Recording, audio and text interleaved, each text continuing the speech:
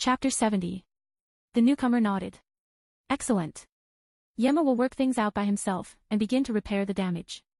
He cocked his head to the side, frowning.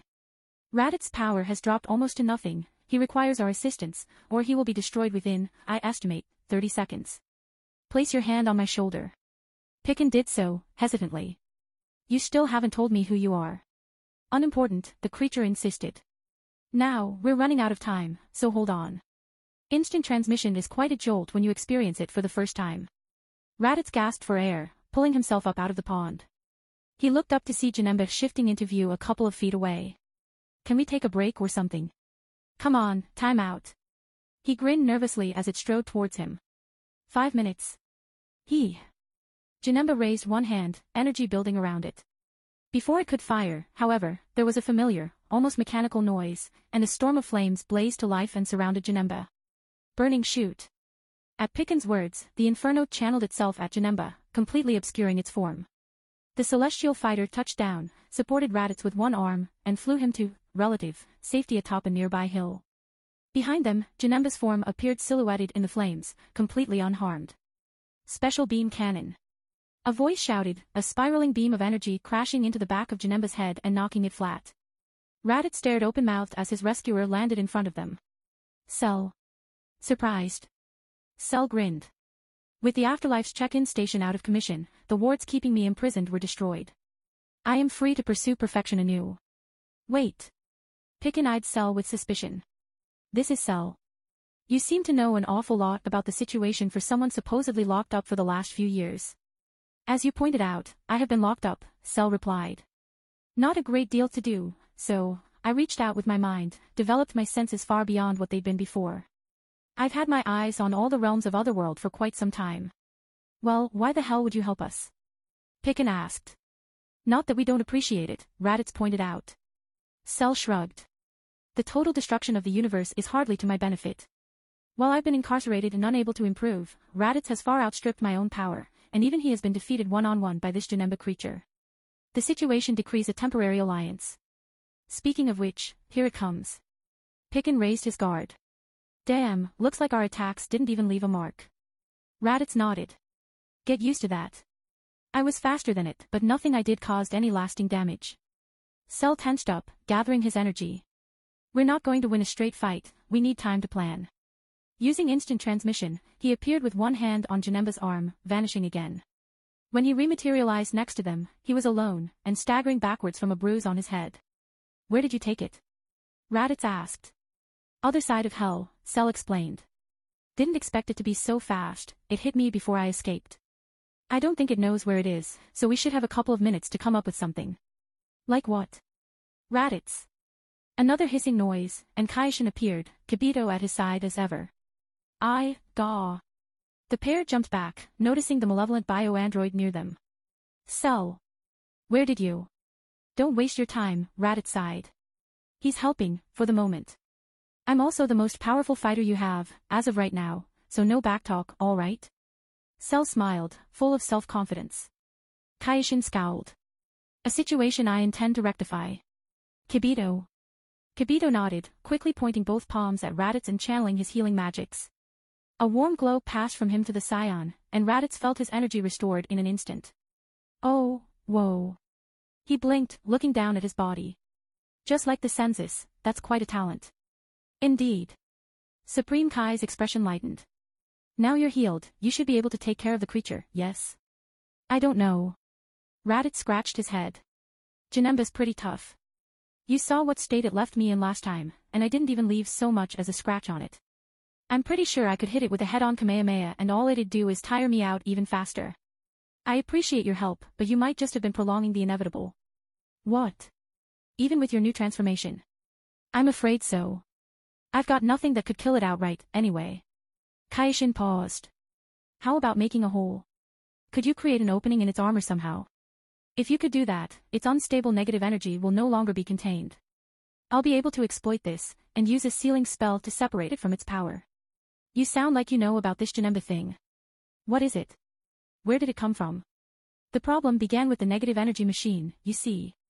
I've been investigating, and it seems that it malfunctioned somehow, all the accumulated negative energy from countless evil souls was released. It latched onto the nearest life form, a young ogre working maintenance nearby, transforming him into that creature, Janemba, did you say? A being of purest evil. Strange, I could have sworn that I've heard the name Janemba before, but where? Never mind. Focus. Back to the point, can you break through its armor? Raditz considered this. Well, there is one thing I could try, I guess. What is it? Pikkon asked urgently. Tell me there's some kind of secret technique you've been perfecting these last few years. As a matter of fact, there is. Raditz looked serious for once. But, I haven't mastered it yet. And it's pretty energy intensive. I'm gonna need some time to gather enough power, so everybody stand back. Better use it with Super Saiyan 3, no point going anything less than all out here. Still, I've never tried this in combination with level 3 before. Hope I can control it. Air. Said an aged voice. Is, is this a bad time? The being that stood behind them looked for all the world like an elderly version of the Supreme Kai. A small gray mustache perched on his upper lip. Wah. Came the general response. It's just that I've spent millions of years trapped in that sword. The man shrugged, indicating the broken Z-sword lying on the ground beside him. I'd like to thank you for letting me out. He paused. Hmm, that's one large evil ki way over there. Who, are you? Kaioshin managed. Why, I'm you, he answered. Fifteen generations older, though. F-15. There's a second Supreme Kai. Pikkon wondered. Oh, yes. You're probably wondering how I'm still alive. He paused. Everyone was silent, eagerly waiting for him to continue.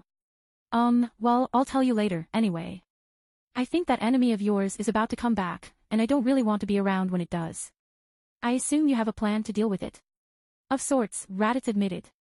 The Z-Sword was meant to provide ultimate power, Kaioshin said. How, exactly, do you construe that from, there's a millennia-old Kai inside it? Excellent. Now, if you would. The old Kai stepped up to Kibito.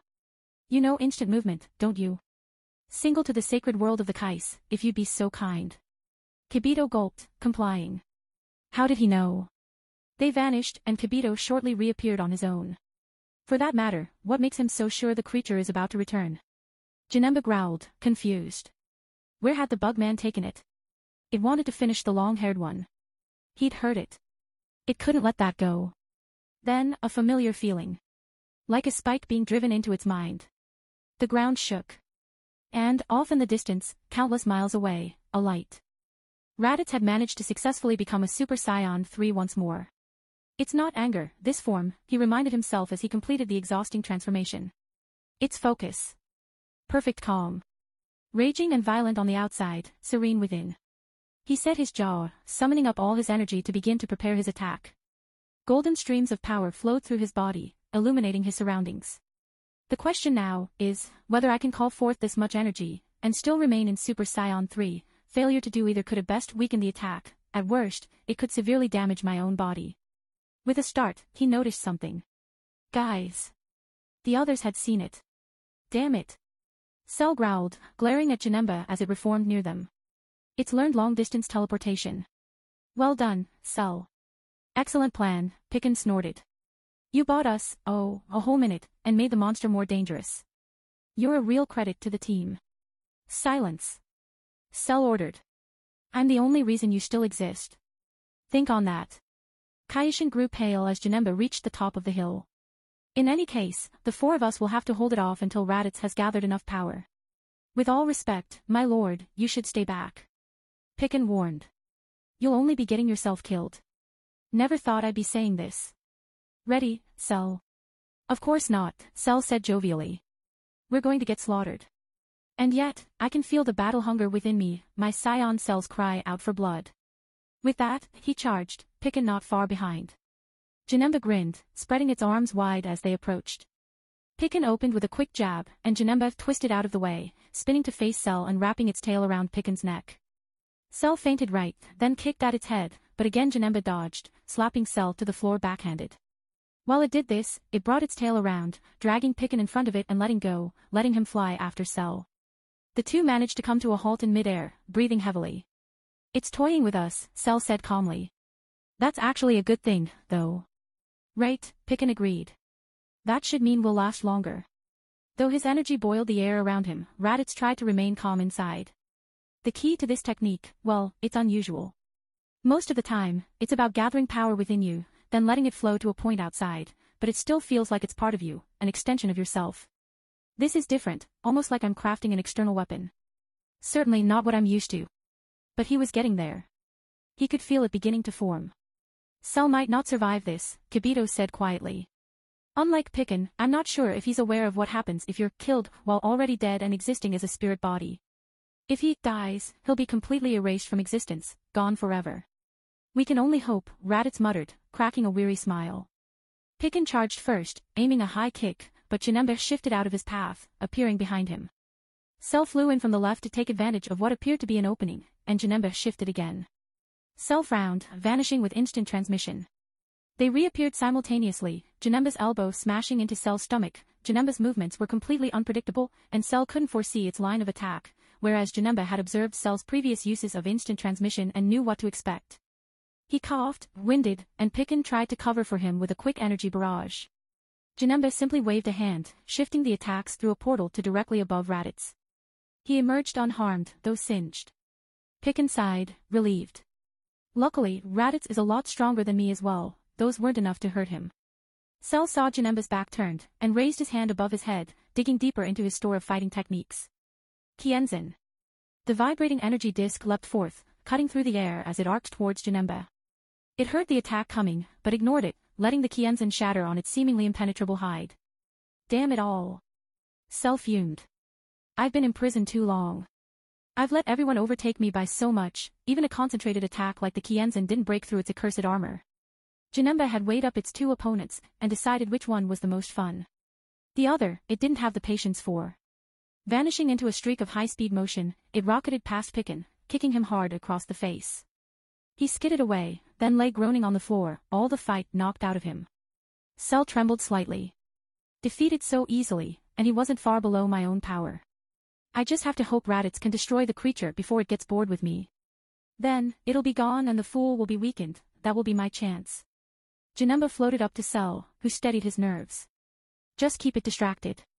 That's all. Solar Flare. The technique's blinding flash was devastatingly effective against Janemba, who had never encountered it before. Cell followed up with a series of calculated, skillful physical attacks, making use of every striking surface on his body and targeting Janemba's least armored points while it was blinded. It flailed around, knocked back and forth by the onslaught, but its overwhelming speed and strength meant that it inevitably landed a lucky hit eventually, and that single hit sent Cell staggering away. Blinking and hissing furiously, it slowly recovered its vision, seeing Cell in a defensive stance, awaiting its attack. It obliged, rushing in and punching him in the throat. Cell choked, collapsed, and disappeared. At this moment, three other cells, having previously hidden their power, tackled Janemba from behind, pulling it to the floor and raining down blows on it. You probably haven't encountered the multiform either, eh? One of the copies laughed. However, quickly tiring of this, Janemba threw out an explosive wave of energy that both carved out a crater beneath it, and threw the cell clones away. Fearful of remaining vulnerable with his divided power, Cell hurriedly rejoined into one being, waiting for Janemba's next move. This was an interesting one, Janemba decided. Making more of itself like that. Well, two could play at that game. It flicked its wrist, using its key to pull one of the strange enormous jelly bean-looking objects dotting the sky towards it. Using one finger, it shot out a thin energy beam that carved out a vaguely humanoid silhouette, then with another simple gesture sent the rest of the material flying away. It walked up to the outline, nodding in satisfaction at its handiwork, and then breathed on it. With a flash of purple light, the cutout was transfigured into a perfect copy of Cell, which stood resolutely between Janemba and the real Cell. Goor. Are you mocking me? Cell growled, only for the copy to say the exact same words simultaneously, in a high-pitched, childish tone, making his words sound petulant and ridiculous. Cell's eye twitched. I will destroy you, pale copy. Again, it imitated and parroted him. He took a step forwards, so did it. Dodged left, right, it mimicked him perfectly. It was like looking into a mirror. And that means it isn't going to let me past it. Smiling and leaving them to it, Janemba turned its attention to Raditz. He was gathering together rather a lot of power. Something about it unsettled Janemba. It began to approach him, at a leisurely pace. The Scion's expression grew frantic, and he tried to focus his energy at a faster pace. Cell was standing millimeters from his copy, staring at it stoically. It flatly returned the expression. Suddenly, he threw a punch, so did it, and their fists collided in midair. Snarling in frustration, he attacked furiously, darting left and right, striking high and low, but each time their attacking limbs collided, neither landing a solid hit. Abruptly, they somersaulted away, landing about 20 feet from each other. I will not be made light of. Cell insisted. I will not be made light of. It squeaked, much to his irritation. Time to find out if it's really an exact copy. Ka, me. They intoned in unison, one high voice and one low. Ha, me. Janemba was enjoying the panic evident in Raditz' face as it drew nearer. It was only ten paces away, now. I just needed a few more seconds. Raditz thought desperately. I'm not going to get the chance to complete my attack at this rate, and if I'm forced to stop now, the energy will all go to waste, so fighting it again won't be fun. Self-round. Why am I doing this? Putting all my energy in one wasteful attack, in what is bound to be a futile struggle with this infernal clone, an internal desire to prove I am unique. Conviction that no copy could possibly match me, perhaps. Futile, if noble, thought processes. But the fact remains, I can't get past it to Janemba, since it mimics my every action. His eyes widened as a thought struck him. My every action. Janemba was close now. Raditz could count the ridges in its armor. Perhaps it would kill him, what else, after all, would make for a better final opponent than the literal embodiment of the universe's collective evil. It certainly looked like a mythical devil. Even with his godlike new form it had bested him. Maybe it was simply invincible. It was inches away. Malice gleamed in its eyes. It flexed its clawed hands. Behind him, Kaioshin, the closest thing the universe seemed to have to a god, and his servant cringed back, struggling to even stand upright under the weight of its power, simply from standing so close to the monster. Such a shame, though, I never got to test out this technique. It only needed a second or two more. No sooner had this thought passed through his mind than Cell phased into existence with instant transmission, directly to Janemba's right. Simultaneously, Cell's clone appeared to its left. Both flung their hands forwards into the Kamehameha position, Janemba between them. Hiya! The creature had just enough time to realize it had been outplayed, its own creation turned against it by a clever use of the rules it had itself created, before twin ki beams, blue and purple, engulfed it from either side. Raditz grinned, this gave him those precious final seconds. Alright, I've got it. Hiya! He forced more of his energy out of his body, letting it swirl in a vortex around him. Cell lowered his hands, falling to his knees, then dropping to the floor. Damn you, you made me use up all my power. I'm spent. His copy also collapsed, vanishing as Janemba stopped expending energy to maintain its existence. It was angered by the attack, but as ever, undamaged. However, Raditz's rapidly rising power gave it pause for concern. It leapt back, shielding its eyes from the intense light. Everyone else is down. Raditz muttered. Can't have more than 30 seconds left in Super Saiyan 3, with all the energy I've put into this. This has to work. Because if I don't. He kicked off the ground, launching himself at Janemba. Who will? Graw. Janemba flung out its aura, an animalistic intimidation and self-reassurance tactic. Raditz, however, plowed right through the energy field, drawing back his right arm. Dragon. Something seemed to explode next to his arm, igniting the volatile energy he'd filled the air around him with. The flames whirled around him, coalescing into a ragged spiral. Fist. With that, the flames were enveloped in golden light, and something else emerged. Kaioshin looked on, wide-eyed. I is that. How did he? Kibito mumbled. High above, on the sacred world of the Kais, the old Kai was sent stumbling around, clutching his head. What in the name of me? The confusion was justified. For the fiery energy had been transformed into an enormous golden dragon, flares of light running up and down its body, its head flying along parallel to Raditz's fist. It collided open-mouthed with Janemba as Raditz flew past, the dragon biting down, huge fangs piercing straight through Janemba's armor plates. With a final bellow of effort as he fell to the ground, in the instant before he lost his Super Saiyan 3 form, Raditz detonated the energy stored in the dragon, letting it explode in a violent storm of light and heat. Janemba finally managed to think coherently enough to shift away, but in addition from the huge, gaping bite wounds, it was now charred and burned all over its body. It howled in pain, beginning to limp towards Raditz's prone form, it was in bad shape, but none of its enemies were in a fit state to oppose it anymore. At least, it thought so. Now. The hiss of instantaneous movement. Janemba frowned, slowly beginning to turn. Kibito, having provided transportation, took a step back as the Supreme Kai raised his hands, summoning forth his magical prowess. Darkness that has overtaken thee, little one, begone. Janemba hissed, stumbling away. Thick black smoke began to rise from the open wounds left by Raditz' attack, the creature's very essence escaping it. The draining negative energy flocked towards Kaioshin. Snapping his fingers, he materialized a small glass container inscribed with runic symbols. Demon within and monster without, away. He shuddered, pulling with all his mental might. There is no place for you, in this world, Janemba. At his determined incantation, Janemba began to evaporate, rapidly shrinking as its outer form vaporized and rushed into the magically sealed container in Kaioshin's hand. As the last of the smoke was entrapped and he slammed the lid on, he could have sworn he heard a mocking whisper in his ear. There is no place in this world for Janemba. You say these things without even knowing the meaning of the name. He shivered. What was that? He put it out of his mind. Later. There were more immediate concerns. Kibito, would you see to the wounded? I shall. Kibito nodded, and walked off. Kaioshin, meanwhile, stepped over to the small figure who stood where Janemba had been. A young ogre worker, wearing baggy clothes and large headphones. Uh, I, uh, sorry, man, hi, I don't know what happened, he stuttered. Are you, like, important? Am I gonna get fired? Ah. Uh. He wheeled around and fled as fast as his legs could carry him. Kaioshin blinked. Ha. No, he won't be punished, sir, King Yemma was saying, alternating between frantically shuffling through and stamping the massive backlog of soul judgment paperwork and talking to Kaioshin. It was just a clumsy accident. However, we will be reviewing the kind of system that lets a simple clumsy accident unleash hell upon the world of the living. You, he shouted to his personal assistant. I want whoever designed that negative energy machine in front of my desk, you got that? When? the assistant asked. Yesterday. Yemma snapped, before turning back to Kaioshin. Is there anything else, sir? The deity nodded. You've let Cell roam hell like the other evil souls? Yes, Yemma replied.